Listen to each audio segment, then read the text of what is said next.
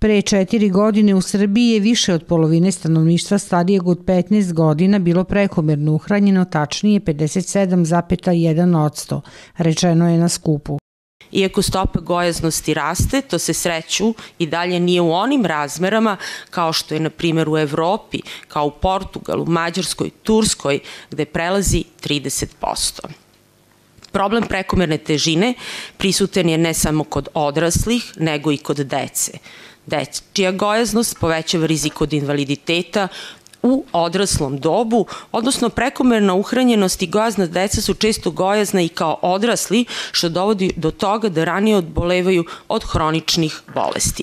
Načelnica Centra za promociju zdravlja Instituta za javno zdravlje Srbije dr. Milan Jovanović Batut, doktorka Jelena Gudelj-Rakić rekla je za Tanjug da je jedna od najvećih opasnosti gojaznosti, hipertenzije ili povišen krvni pritisak, ali nije jedina. O prevenciji gojaznosti važno govoriti od detinjstva, obzirom da e, gojaznost u detinjstvu i adolescenciji vodi i e, ostanku prekomernoj uhranjenosti u starijem životnom dobu. Ukoliko se ne spreči na vreme, e, javljaju se ozbiljniji zdravstveni problemi i skraćuje životni vek. Od prošlog meseca na osnovu puta izabranog lekara osiguranicima pružaju usluge savjetovanja u vezi sa ishranom, ali i hiruško lečenje, uključujući i gastrički balon u slučajevima kada je to neophodno.